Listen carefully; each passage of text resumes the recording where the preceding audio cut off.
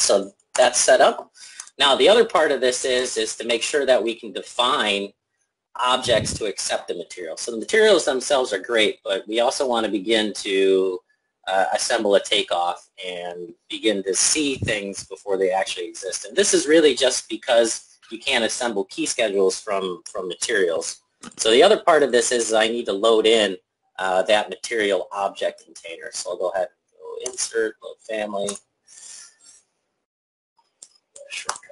here, materials, okay. So I got the material tag and the material container. So those are two new things. I've edited your material tag, and I'll talk about that a little bit when we get to tagging objects and things you can add to it if you don't like the one I provided. And then also the material container itself. Go ahead and open those. It's pretty quick.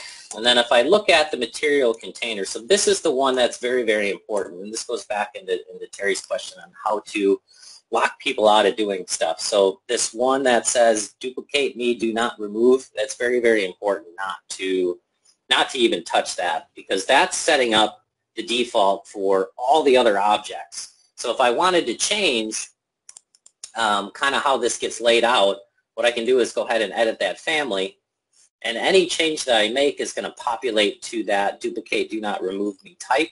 And then it's going to clone that for every material I have in my Excel file. So by default, I've set it up to say I have a box. That box has a, a length, width, and height. Oops, sorry, you can rename those if you need. They're not scripted. And then it's ready to accept a material uh, with that. Okay. Let's see.